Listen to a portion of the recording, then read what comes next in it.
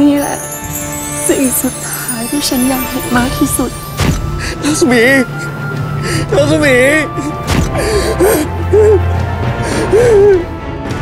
พวกเจ้ามันขี้ขลาดไม่เหมือนนักรบเผ่าพันธุ์อสูรเยี่ยงพ่อเจ้า ที่ต่อสู้อย่างสมศักดิ์ศรี